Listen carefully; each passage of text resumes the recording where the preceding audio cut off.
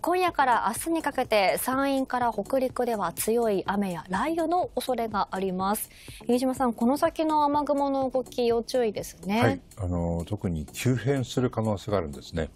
21時の予想天気図を見ていただきますと、はい、日本付近西高東低の気圧配置なんですけれども特に日本海の西部で等圧線がくびれているところに注目してください。ここにこの後、まあ、おそらく今もすでに発生していますが低気圧が発生をします。でなぜこのようなことになるかというと上空に強いこの季節としては強い寒気が流れ込んでいるんですね。今日の21時頃の上空5500メートル付近の寒気でいきますと日本海の西部までえマイナス24度以下の、まあ、冬のような寒気が流れ込んでいます。で、この寒気に伴って、この後低気圧が発達をするわけですけれども、え今夜20え18時と明日の朝9時の、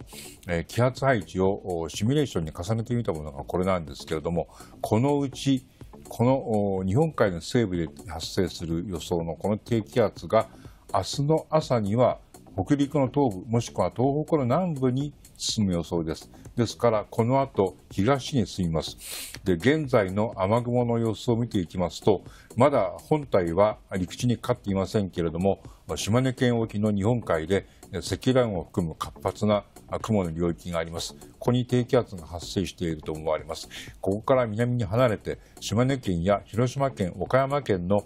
中国山地沿いなどでも雷雲が発生をしているようです。今、雷雲とお伝えしましたけれども、かなり発雷を伴っているようです。で、この後の降水のシミュレーションに見ていきますと、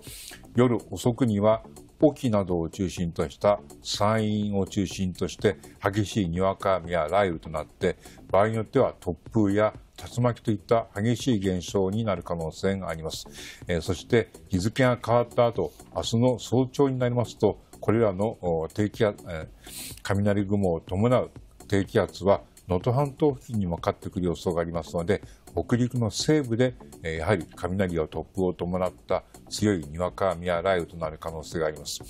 さらに明日の午前中ぐらいになりますと、この雨雲は北陸の東部や東北の南部にもかかってくる予想ですので、こういったところでも急なにわか雨や雷雨となる可能性があります。はい、わかりました。今夜以降の不安定な空模様ご注意ください。詳しくはアプリウェザーニュースからご覧いただけます。